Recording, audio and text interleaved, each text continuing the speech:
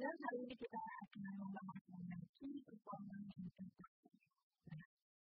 ada penjelasannya lebih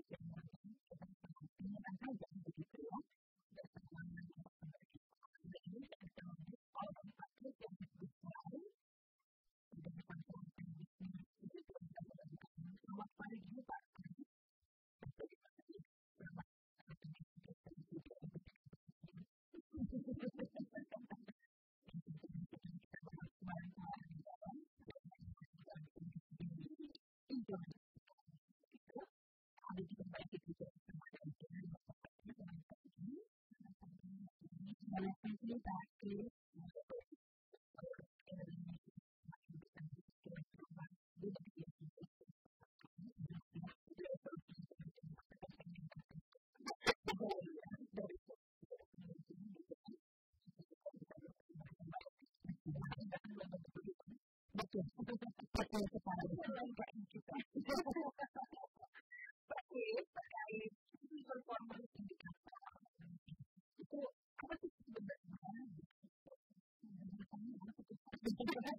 Bahasanya nggak keren.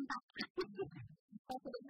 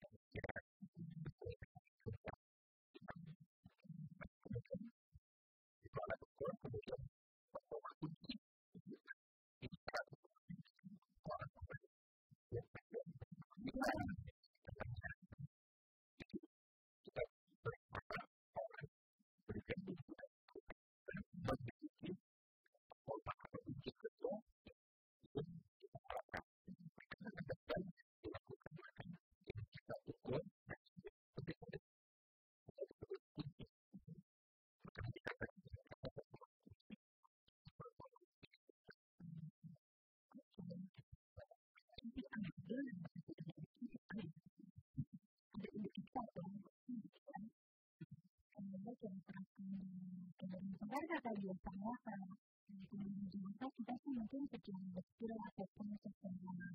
secara sistematis seperti yang Pak Kris mengatakan tadi mungkin belum tapi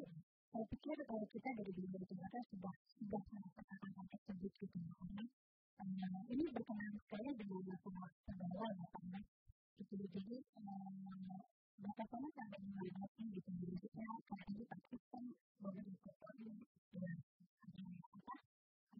indikatornya Pak ya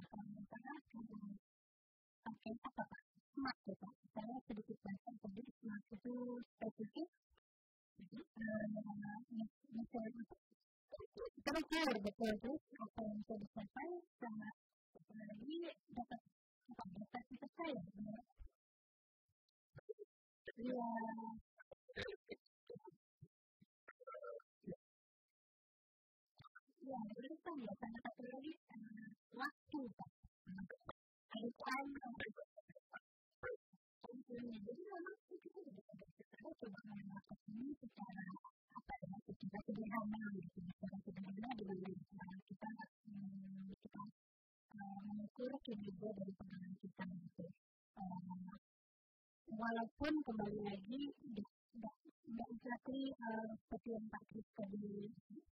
terapkan gitu loh karena